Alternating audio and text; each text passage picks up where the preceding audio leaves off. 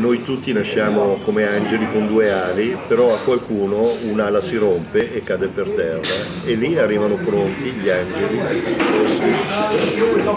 City Angel a prenderlo e cercare di riportarlo nel mondo civile. sono molte associazioni che permettono di sopravvivere a Milano. Queste ce n'è una in particolare che sono i City Angel, che è una struttura ideata da Mario Curlani e che in effetti ha il nome adatto, sono gli angeli della città. L'idea di creare i City Angels 21 anni fa è nata da una vocazione, credo che si possa definire così.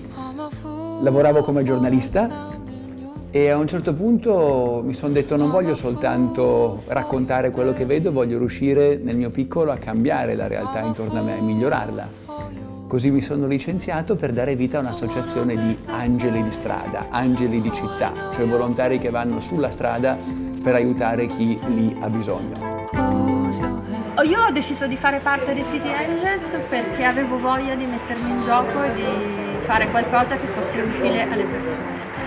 E ho scelto i City Angels perché sono un'associazione che è molto presente sul territorio, perché è apartitica e areligiosa, tutti si possono trovare in un periodo difficile per cui si trovano per strada. La vita di senza tetto varia da persona a persona, perché purtroppo io ho scelto di esserlo, ma la maggior parte delle persone sono state buttate in questa realtà, la vivono come una prigione, come una realtà che non volevano vivere.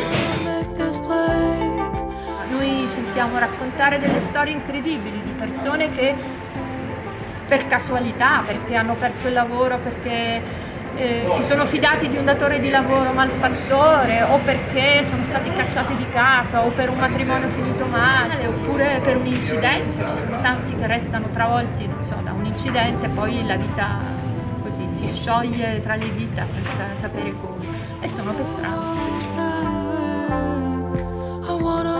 Negli anni 90 c'erano meno senza tetto, l'economia tirava, oggi c'è più povertà e soprattutto più disperazione, c'è meno speranza. Devo dire che a Milano c'è il miglior piano di assistenza per il senza tetto d'Italia. Durante i mesi invernali a Milano se un clochard vuole andare a dormire al caldo lo può fare. Quelli che restano all'aperto sono quelli che lo fanno perché decidono così, magari perché non vogliono andare nei centri d'accoglienza, perché non vogliono seguire le regole oppure perché hanno paura di essere derubati durante la notte perché magari hanno un animale o sono in coppia e non vogliono separarsi, i motivi sono molteplici. Eh, a Milano non si muore di, eh, di fame, non si muore neanche di freddo a meno che non si voglia stare sulla strada. La cosa più bella sarebbe riuscire a trovare un lavoro per i senza tetto, sono tanti che possono lavorare e vogliono lavorare. Allora, nella vita, eh, quando si fa una scelta, bisogna accettare anche la sconfitta e quindi mai pentirsi. Io nel 2002 ho detto tempo hai finito di essere il mio padrone e, sono, e mi sono sentito finalmente libero. mi piacerebbe portare i City Angels in tutte le più grandi città italiane, siamo a Milano, Roma, Torino, ma ad esempio a Napoli non ci siamo ancora, a Genova, che è una città che avrebbe bisogno, non ci siamo ancora e trovare una persona che sappia essere un buon leader, che sia motivata, non è facile.